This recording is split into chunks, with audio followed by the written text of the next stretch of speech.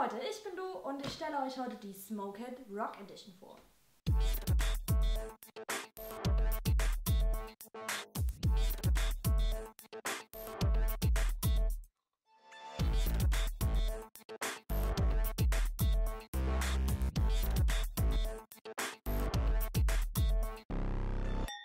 Wie ihr gesehen habt, geht es heute um Smokehead. Das ist eine Serie des unabhängigen Abfüllers Ian McLeod. Das Unternehmen wurde 1936 gegründet von Leonard J. Russell und der wollte mit seinen unabhängigen Abfüllungen die Whiskywelt ein bisschen bereichern, erweitern und äh, hat dafür natürlich alle Vorteile genutzt, weil als unabhängiger Abfüller ist er nicht auf eine Brennerei angewiesen, sondern kann sich so, naja, wo er gerade will und wie es ihm am besten passt und schmeckt, eigentlich die Fässer zusammensuchen und daraus dann seinen Whisky herstellen. Ist ihm ganz gut gelungen, denke ich. 15 Millionen Flaschen im Jahr verkauft McLeod. Das ist eine ordentliche Hausnummer. Und beim Smokehead ist der Name wirklich Programm. Also wenn man den aufmacht, der ist intensiv, der ist rauchig, der ist laut, der hat Bums. Das riecht man schon. Und die ganze Aufmachung ist relativ modern, wenn man sich die Website anguckt und das Flaschendesign. Was ich besonders cool finde, ist, dass das Frontetikett sehr kurz ist und dann im hinteren Etikett innen drin sozusagen so eine schöne grafische Anordnung von Wörtern. Sip, peachy, smoky, phenolic, powerful, bladlups. Steht alles hier so hinten drin und äh, man sieht es quasi durch die Flasche durch, finde ich total cool. Natürlich auch die Geschenkverpackung relativ edel aus Metall und ähm, Totenkopf drauf vorne. Also das ganze Design ist sehr modern und sehr quer gedacht. Die Whisky-Branche. Genau. Kostet 30 Euro im Schnitt. Ähm, ist preislich damit eigentlich ganz gut. Gibt es außerdem noch in einer roten Rock Edition. Die hat 46,6%. Die Version hier hat 44,2%. Genau, gibt es noch als normalen Smokehead, gibt es als Extra Rare und als High Voltage und als Black Bottle Extra Black Black Extra irgend sowas 18 Jahre alt. Der ist äh, dann schon relativ teuer und relativ exklusiv. Kommen wir zum Smokehead Rock Edition. Er ist von der Farbe her sehr ja, goldig, hellgoldig. Steht übrigens nicht drauf, ob es kühl gefiltert oder gefärbt ist. Ich habe es jetzt auch nicht rausgekriegt im Netz. Wenn ihr da was wisst, dann schreibt es doch einfach mal drunter. Ist er kühl gefiltert? Ist er gefärbt? Ich weiß es nicht. Wie gesagt, hat 44,2 Prozent. 44,4%, 44,2. Ja, und das erste, was einem hier entgegenschlägt, erstmal ist Rauch. Und ähm, ich habe in meinen Videos immer Torf gesagt und ich habe festgestellt, der kam immer so, ja, aber Torf riecht doch eigentlich gar nicht. Natürlich riecht Torf nicht. Torf ist, naja, nass, nasse Erde und dann ist es trockene Erde und dann verbrennen wir es. Und erst dann fängt es an, einen Geruch zu entwickeln, wenn wir es verbrennen. Mit Torf meinte ich immer genau diesen Rauch, den es erzeugt. Hat, dieser Rauch hat aber unglaublich viele Facetten. Also das geht von Lagerfeuer, holzig, rauchig, über Räucherfisch, Räucherfleisch, Baconartig hin zu, ähm, naja, sehr, sehr kräutererdig der Rauch oder dann schon fast ins Muffig gehende. Also, beziehungsweise auch so dieses phenolisch-medizinische. Das ist so diese ganze Palette an Rauchgerüchen, die man haben kann. Und entschuldigt, wenn ich immer mal Torf gesagt habe, ich meine damit Rauch. Das ist für mich dasselbe. Es ist nur im Englischen sagt man, oder habe ich in Schottland immer mehr peated als smoked gehört. Und deswegen äh, sage ich wahrscheinlich im Deutschen auch immer torfig, torfig, torfig. Obwohl es ja rauchig, rauchig, rauchig ist.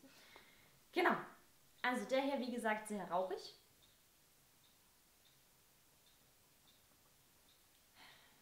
Aber trotzdem Also sehr rauchig, würzig, intensiv ist er da, sehr bissig, fast so, naja, so pfeffrig. Lagavulin, Lafroig, Artbeck, Eila, so in die Richtung. Und jetzt hat er mich geruchlich gerade an was erinnert, und zwar an Artback. Weil er hat diese, Artback hat für mich immer eine sehr typische pfeffrige Note. Die hat zum Beispiel auch Talisker, aber bei Talisker ist mir dieses salzig-maritime dominant. Bei Artback ist es wirklich so Pfeffermühle. Und das, daran erinnert er mich sehr stark. Also wenn ich eine Vermutung abgeben darf, dann sage ich Artback. Also wenn ihr ihn auch schon mal im Glas gehabt habt, dann könnt ihr mir ja vielleicht auch verraten, was, was denkt ihr, was es für ein Fass ist oder welche Fässer es sein könnten, welche Brennerei dahinter steckt.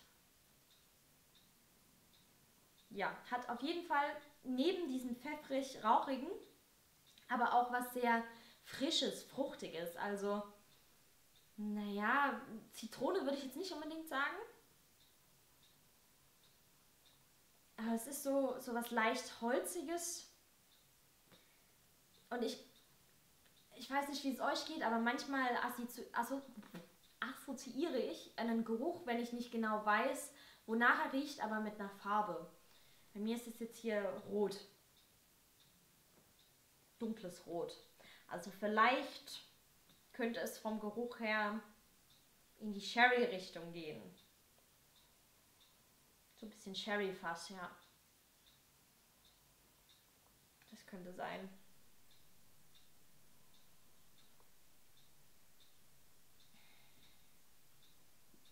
Ein Whisky mit Cherry Finish. Zwei Whiskys mit Cherry Finish, die ich bereits verkostet habe. Einmal der Lafroig PX Cask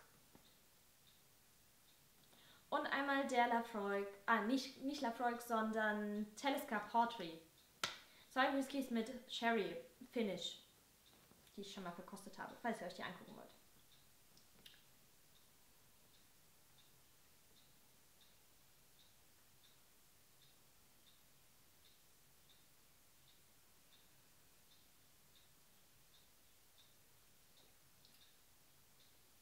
Oder hat einen schönen schönen Werdegang. Ich habe letztens mit einer Freundin in der Bar gesessen und wir haben uns über den Geschmacksverlauf von Whisky unterhalten und hatten dann die Idee, eigentlich müsste man, weil normalerweise benutzt man ja dieses Rad zum Whisky verkosten, eigentlich müsste man da mal eine Linie machen. Das ist dann wirklich, weil ich habe ja auch öfter schon mal gesagt, ja, der Whisky ist voll wie eine Achterbahnfahrt. Und eigentlich müsste man das mal so darstellen. Und auch bei dem Whisky, es fängt an, dass es sehr, naja, sehr, sehr mild, sehr entspannt erstmal.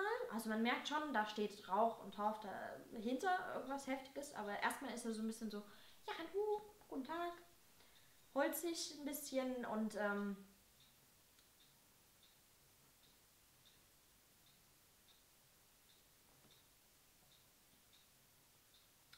passt so, naja, eigentlich ja wirklich holzig und so diese minimale Sherry-Note kommt am Anfang durch dann wird es so, rutscht es so ein bisschen in die Richtung nicht Kaffee, sondern so ein bisschen süßlich.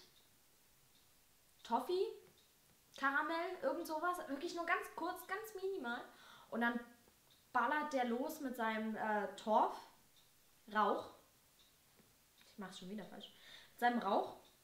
Und ist erst sehr, ja, sehr, sehr wirklich dunkel, so wie das Torffeuer eben eben ist und äh, sehr, ja, sehr, sehr, naja, nicht, nicht kräutrig, eher, ja, eher wie, wie ein intensives Lagerfeuer, das so muchtet und riecht und dann rutscht der so ein bisschen ab ins äh, mehr holzige und schmeckt fast wie so ein ähm, frisch getoastetes Fass. Und dann am Ende